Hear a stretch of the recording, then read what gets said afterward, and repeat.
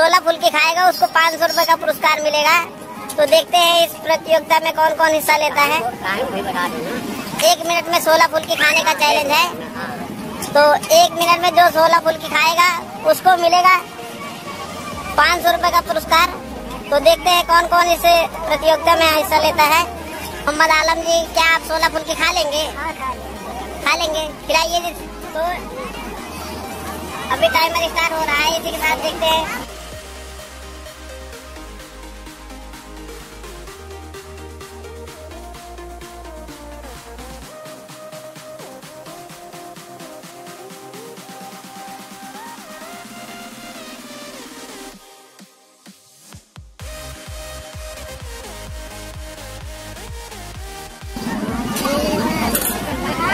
आपको कैसा लगा बहुत अच्छा लगा